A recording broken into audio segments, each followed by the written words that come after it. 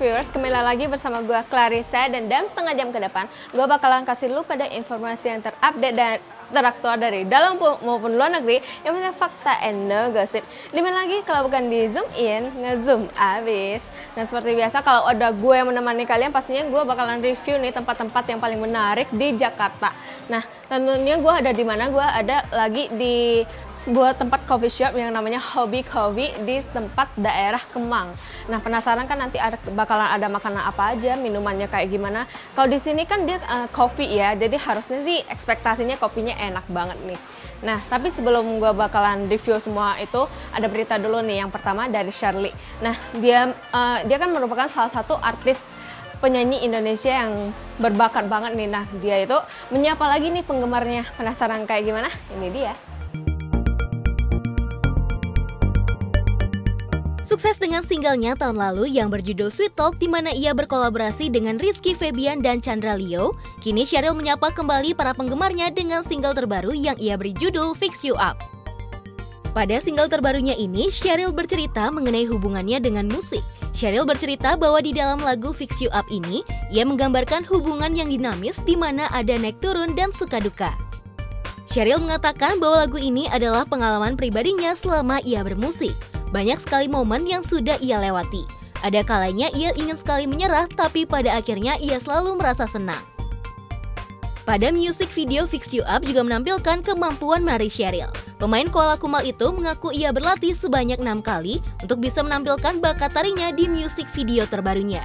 Bagaimana Smart Viewers? Apakah kalian sudah mendengar single terbaru Cheryl?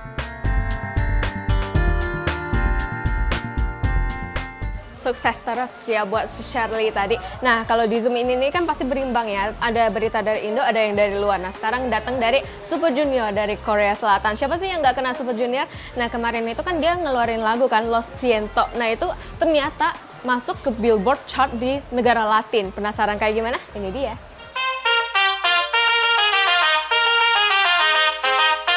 Baru-baru ini dikabarkan bahwa grup yang diketuai oleh Litek kembali mencetak sejarah per K-popan.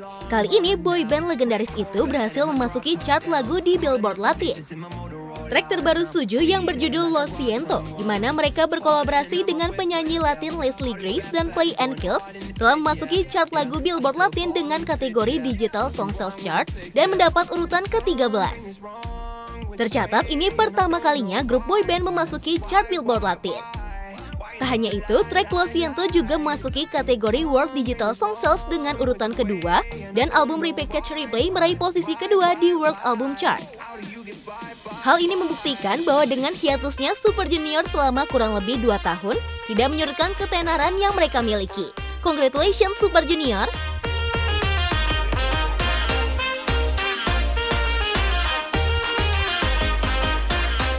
Ya emang ya kalau namanya Super Junior itu emang mereka udah bikin rekor baru yang banyak banget di industri uh, permusikan di Korea Selatan. Nah, nggak kalah nih sama yang di Hobby Coffee ini pasti di sini juga bakal banyak terobosan minuman yang enak, terutama kopinya. So, dan gak anywhere, stay tune and zoom in, nge-zoom abis.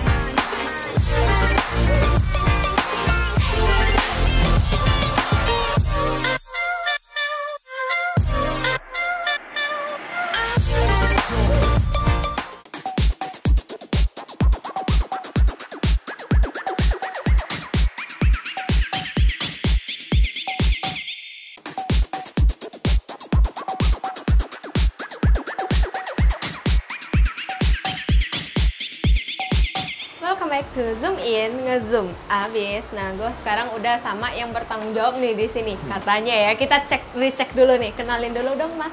Halo, nama saya Agung.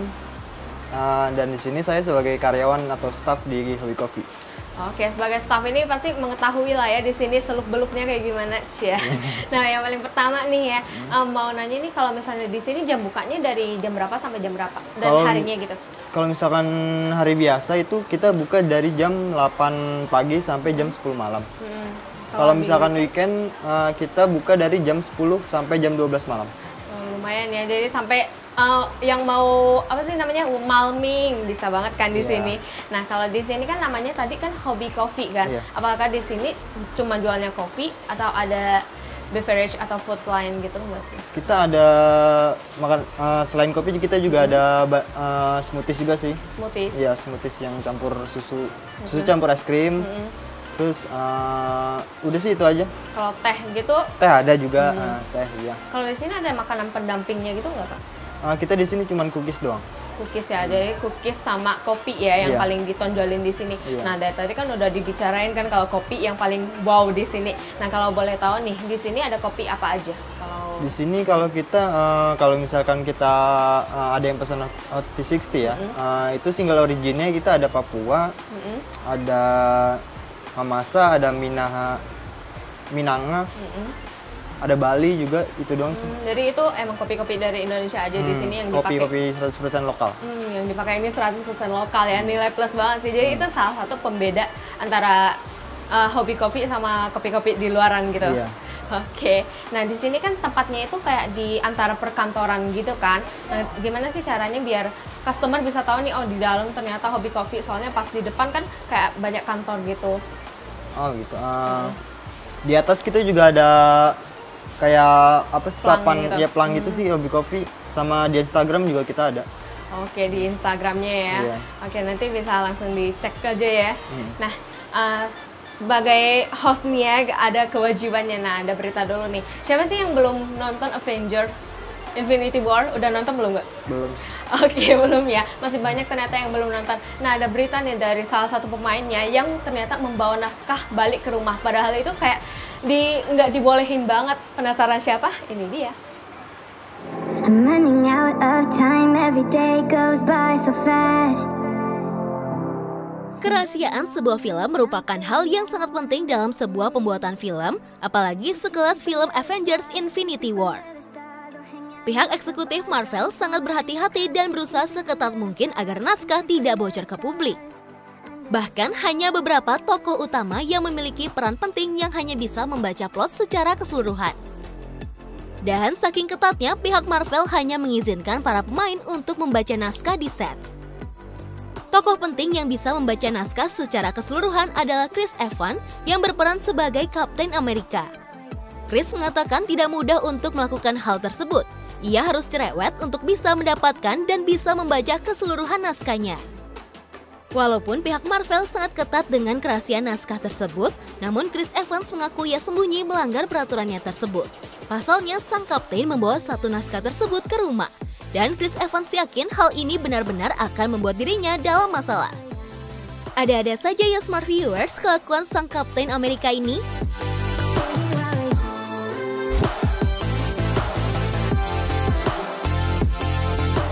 Dari dunia perfilman nih ya. Tadi kan udah yang di luar nih, sekarang yang di Indonesia. Nah, terutama kan sekarang udah mau mendekati bulan Ramadan.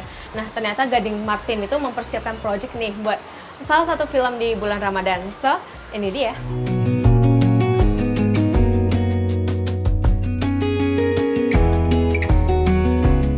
Tidak terasa, bulan suci Ramadan akan segera tiba nih Smart Viewers. Berbagai macam persiapan mulai dilakukan untuk menyambut bulan penuh rahmat ini. Tidak terkecuali salah satu aktor ternama Gading Martin. Aktor sekaligus ayah dari Gempita ini ternyata telah memulai proyek bulan Ramadannya lo Smart Viewers. Kali ini ia tengah memulai proyeknya tersebut bersama trio Semprul yaitu Andika Pratama dan Uus. Proyek sinetron komedian itu sedikit berbeda dari tahun sebelumnya, yaitu pada tahun ini film tersebut akan berganti nama dari Tiga Semprul Mengejar Surga menjadi Di Sebelah Ada Surga. Rencananya sinetron ini akan tayang hari pertama bulan Ramadan 2018 dengan total 30 episode smart viewers. Baby, ternyata dia berkolaborasi nih dengan trio semprulnya itu. Nah, itu pasti lucu banget sih, pasti koplak banget. Nah, itu kan buat mengisi liburan di nanti bulan Ramadan. Nah, seperti yang di sini juga pasti ditunggu-tunggu banget nih nanti ada kopi apa aja yang bakalan disajiin. Nanti aku bakalan review dan cobain satu-satu. Nanti aku bakalan kasih tahu mereka gimana sih apakah emang spesial banget di sini. So, dan gak ini stay tune on Zoom in, ngezoom abis.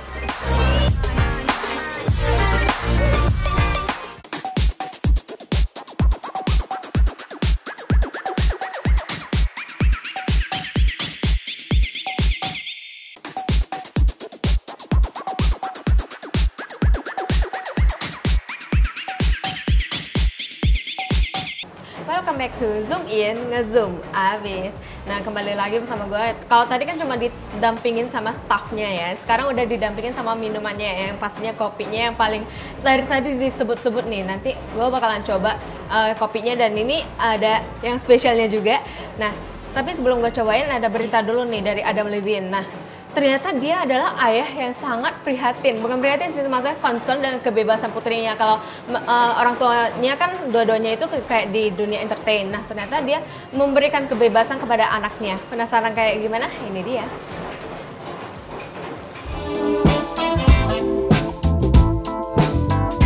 Vokalis Maroon 5 Adam Levine dan istrinya BHT Prince Lu baru saja menyambut kelahiran putri kedua mereka pada 16 Februari lalu.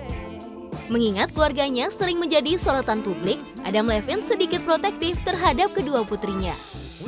Adam mengakui belakangan ini ada beberapa tawaran iklan untuk putri pertamanya yaitu Dusty Rose Levine yang masih berusia satu tahun. Namun musisi berusia 39 tahun ini belum memikirkan apakah anaknya akan mengikuti jejak orang tuanya atau tidak. Di sisi lain, Adam juga menentukan batasan usia bagi sang anak untuk terjun ke industri hiburan. Menurutnya usia yang pas adalah ketika putrinya sudah remaja atau berusia 12 tahun. Hal itu dilakukan agar anak tetap bisa menikmati masa kecilnya. Sementara itu, belakangan ini Adam dikabarkan memutuskan untuk beristirahat sejenak dari rutinitasnya. Ia mengaku ingin meluangkan lebih banyak waktu untuk berkumpul bersama istri dan kedua anaknya. We are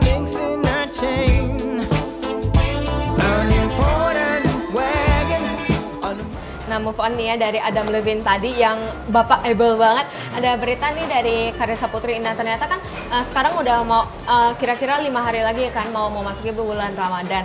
Nah dia udah mulai mempersiapkan nih bulan Ramadan dia kayak gimana. Penasaran kayak gimana? Ini dia.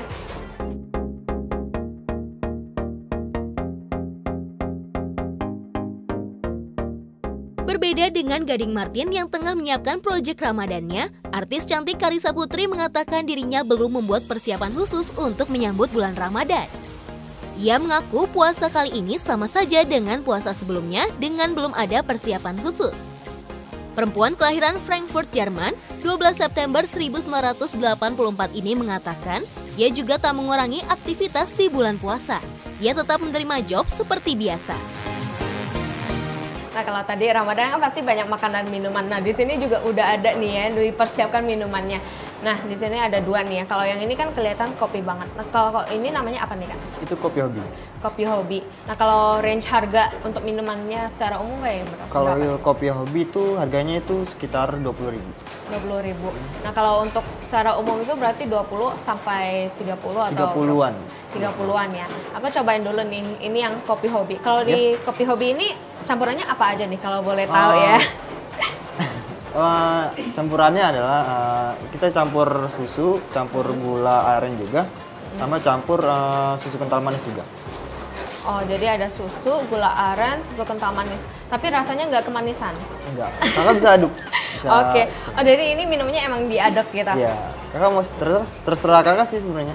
Oke, jadi sekarang sedotannya udah siap, aku bakalan coba. Nah ini diaduk aja kali ya. Iya. Di bawahnya ini kopi sama Iya uh, itu campuran kopi susu kopi sama gula aren sama susu juga. Oke, aku bakalan coba nih ya.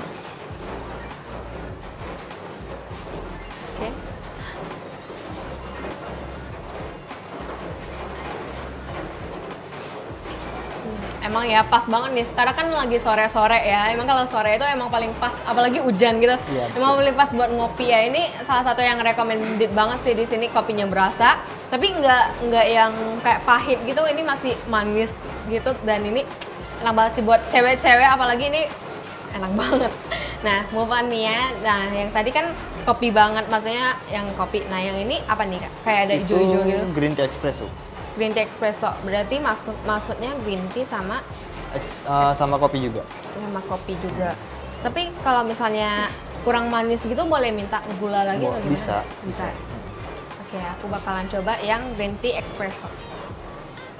Kalau yang ini harganya berapa dong sekitar 29 32 an hmm, masih affordable ya, masih... banget sih. hmm. oke. Ini menarik banget sih kayak tea dicampur sama kopi penasaran kayak gimana kan Nah, gue cobain dulu ya.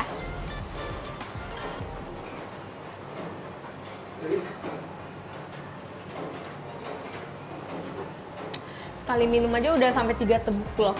Ini berarti membuktikan kalau ini emang enak banget ya. Ini percampurannya pas gitu loh antara tadi green Green tea. tea-nya, green tea sama espressonya itu Espresso. pas.